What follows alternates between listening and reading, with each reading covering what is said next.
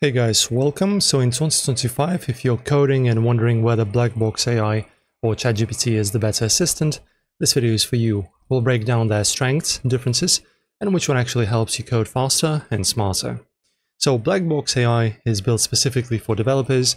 It focuses on code autocomplete, code search, and real-time assistant inside IDEs like VS Code. Uh, ChatGPT, on the other hand, is a general AI chatbot with strong support for programming, debugging, and full project generation across multiple languages. In terms of the core features, Blackbox AI excels at uh, pulling up code snippets from large public repos. Uh, think of it as a supercharged Stack Overflow built into your editor. Uh, it also has autocomplete that learns from context.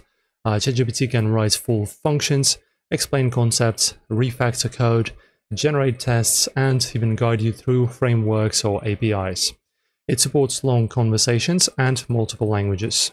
Okay guys, so in terms of the use case, you can use Blackbox AI when you want quick snippets, shortcuts, or you're working within your IDE and don't want to break the flow. It's great for searching how others solve the same problem. Uh, you can use ChatGPT when you need context-aware help, like debugging your code, writing scripts from scratch, or understanding how something works. It's especially helpful for solo developers and learners.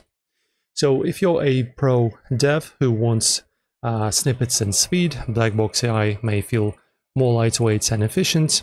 But if you want a true coding assistant who can explain, build, fix, and think through logic with you, ChatGPT wins in flexibility and depth. So both tools are powerful, just aimed at different workflows, so which one do you prefer? Let me know in the comments and of course don't forget to subscribe for more DevTool breakdowns and like the video. See you soon.